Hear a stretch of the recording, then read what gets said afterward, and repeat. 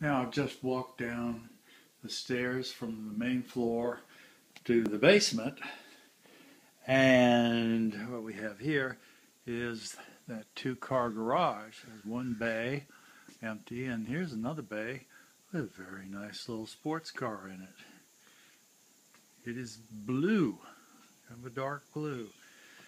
It's a beautiful little Mazda Miata convertible and it is a joy to drive around here.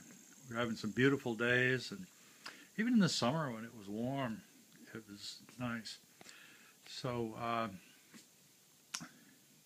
there's lots more unpacking to do, as you can see back here. Eh, but uh, the good thing is that there's lots of space back here. So we've got a lot of uh, unpacking and reorganizing to do but uh, we're glad to have the room for it. And uh, it's just a really nice uh, garage and uh, storage area. I'll just walk you outside a little bit.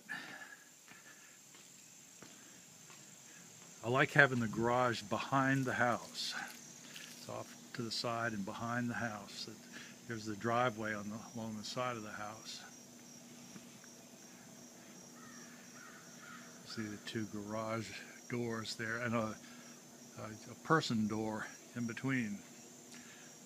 Here's my Miata. And here's our backyard. So there's a, just a little view of the house from from the side.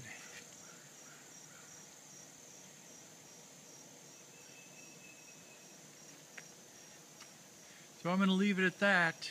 Thanks for tagging along with me. Look forward to seeing you soon. Love you. Bye.